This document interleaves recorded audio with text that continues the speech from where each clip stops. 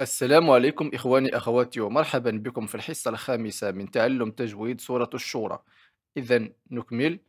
كما عودتكم نقرأ الآية نستخرج ما بها من أحكام نطبق تلك الأحكام وفي آخر الحصة نقرأ قراءة مرتلة لجميع الآيات التي استخرجنا الأحكام منها مع تطبيق جميع الأحكام التي استخرجنا. كل حكم أذكره لكم لقد شرحته من قبل في درس لوحده. ولكي تجدوا جميع الدروس مرتبة شاهدوا هذا المقطع. لا تنسوا الاشتراك في القناة وتفعيل الجرس لكي تتوصلوا بكل فيديو أضعه ولكي تجدوا جميع الدروس بالترتيب. اضغطوا على زر بلاي ليست أو بالعربية قوائم تشغيل وستظهر لكم جميع الدروس مرتبة. إذا لنبدأ. أعوذ بالله من الشيطان الرجيم. بسم الله الرحمن الرحيم. والذين يحاجون في الله من بعد ما استجيب له حجتهم داحضة عند ربهم وعليهم غضب ولهم عذاب شديد. والذين تبال الذال والذين وليس والذين والذين يحاجون. هنا مد لازم كلامي مثقل. يحاجون. مد ست حركات في الله اللام في لفظ جلالة يرقق لأنه سبق بكسرة. أما الياء المادية فهي تحذف للتخلص من التقاء الحرفين الساكنين. نقول في ولا نقول في في الله في الله. من بعد هنا إقلاب تقلب النون الساكنة ميم. من بعد لأن لدينا حكم من أحكام النون الساكنة والتنوين وهو حكم الإقلاب. هنا تقلب النون ميما مع غنة بمقدار حركتين. من بعد ما هنا لاحظوا معي لدي كلمة أستجيب تبدأ بهمزة وصل فهي تسقط في درج الكلام. يبقى الألف المدي هنا وحرف السين ساكن. إذا التقى ساكنان وأولهما حرف مد. إذا يحذف حرف المد للتخلص من التقاء الحرفين الساكنين وهذه هي القاعدة. فهنا نقول ما استجيب؟ ولا نقول ما استجيب. إذا جيد.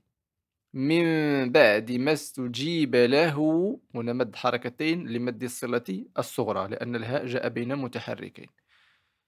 ما استجيب له حجتهم داحضة.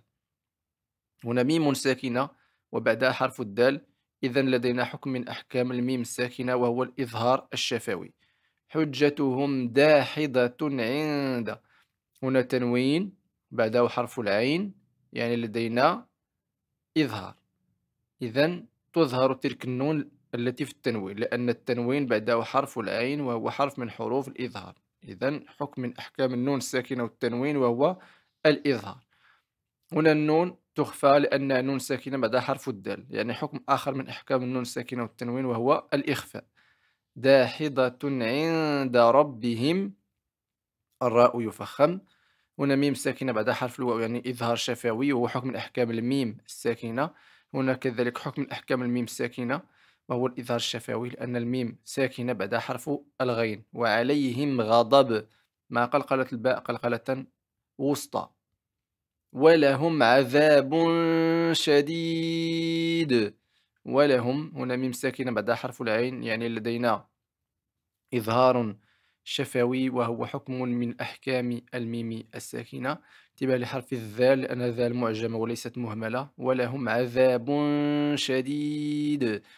تنوين بعده حرف الشين. إذا حرف الشين من حروف الإخفاء. إذا نخفي تلك النون التي في التنوين مع ترقيق غنة الإخفاء وتهيئ الفم على مخرج حرف الشين. هنا مد حركتين أو أربع أو ست للمد العرضي للسكون. وقلقلة حرف الدال قلقلة وسطى ولهم عذاب شديد. الله الذي أنزل الكتاب بالحق والميزان. الله اللام هنا يفخم. الله الذي انتبه للذال مع مد ست حركات للمد الجائز المنفصل. أنزل إخفاء النون مع ترقيق غنة الإخفاء لأن بعدها حرف الزاي مرقق لأنني قلت أن الغنة تتبع في التفخيم والترقيق للحرف الذي يأتي بعدها.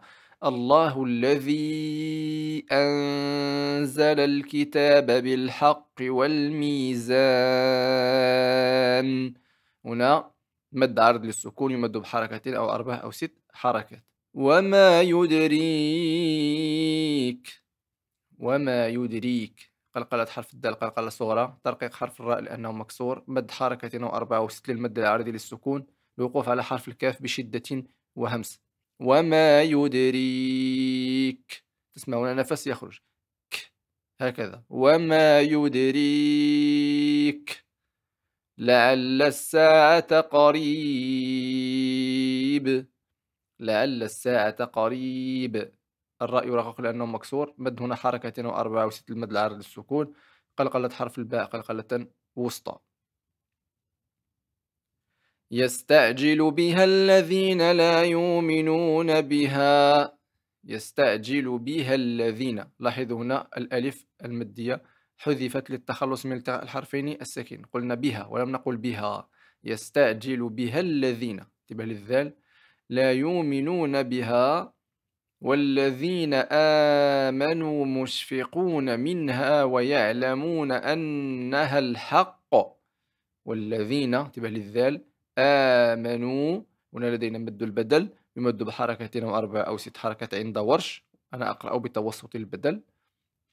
والذين آمنوا مشفقون منها هنا النون ساكنة بعد حرف الهاء يعني يجب إظهار النون. لأنها نون ساكنة بعد حرف الهاء من حروف الإظهار لدينا حكم الإظهار وهو أحكام النون الساكنة والتنوين. والذين آمنوا مشفقون منها ويعلمون أنها الحق. النون هنا بغنة أكمل ما تكون أنها نون مشددة. والغنة بمقدار حركتين. أنها الحق. هنا الألف المادية حذفت للتخلص من التقاء الحرفين الساكنين. ونقف على حرف القاف بقلقلة كبرى لأنه مشدد وموقوف عليه. ألا إن الذين يمارون في الساعة لفي ضلال بعيد. ألا هنا مد ست حركات للمد الجائز المنفصل. والنون بغنة أكمل ما تكون لأنها نون مشددة. ألا إن الذين تبالي الذال يمارون الراء يفخم يمارون في الساعة لفي ضلال بعيد. هنا لدينا إقلاب لأن التنوين بعده حرف الباء. تلاحظون علامة الإقلاب وهو الكسرة مرسومة والكسرة الثانية قلبت ميما. إذا غنى بمقدار حركتين يعني تنطبق الشفتين لكن من غير كز يعني تبقى فجوة بين الشفتين. إذا نقول لفي ضلال بعيد. مع مدون حركة وأربعة وست مد العرض للسكون وقلقلة حرف الدال قلقلة وسطى. الله لطيف بعباده. الله تفخيم حرف اللام. الله لطيف هنا تنوين بعده حرف الباء يعني لدينا كما تلاحظون إقلاب.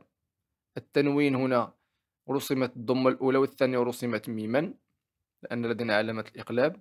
لاحظوا بعدها حرف الباء. إذا تقلب تلك النون الساكنة التي في التنوين تقلب ميما بغنة بمقدار حركتين. الله لطيف بعباده يرزق من يشاء. يرزق الراء هنا يفخم. هنا النون ساكنة بعد حرف الياء يعني لدينا إدغام ناقص بغنة. وننتبه للغنة.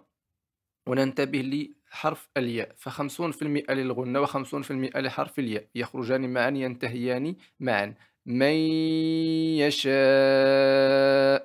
لا تتغنون على الغنة. لا نقول من يشاء ولا تتغلي على الغنة يعني لا نقول من يشاء بل 50% للغنة و50% لحرف الياء. يخرجان معا ينتهيان معا. من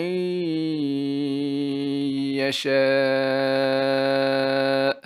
مع مد هنا حركة أربعة وست للمد العرض للسكون وهو القوي العزيز. وهو القوي العزيز. مد حركتين وأربعة وست للمد العرضي للسكون. أكتفي بهذا القدر لكي لا أطيل عليكم وأرتل لكم هذه الآيات التي استخرجنا الأحكام منها مع تطبيق جميع الأحكام التي استخرجنا. إذا استمعوا. أعوذ بالله من الشيطان الرجيم. بسم الله الرحمن الرحيم. والذين يحاجون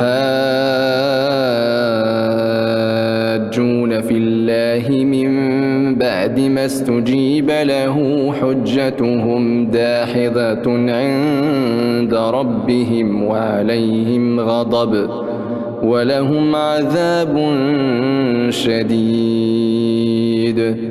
الله الذي أنزل الكتاب بالحق والميزان وما يدريك لعل الساعة قريب يستعجل بها الذين لا يؤمنون بها والذين آمنوا مشفقون منها ويعلمون أنها الحق. ألا إن الذين يمارون في الساعة لفي ضلال بعيد. الله لطيف بعباده يرزق من يشاء وهو القوي العزيز. أتمنى أن تكونوا قد استفدتم من هذا الدرس وقد نال إعجابكم. ألقاكم إن شاء الله في الحصة المقبلة. والسلام عليكم ورحمة الله وبركاته.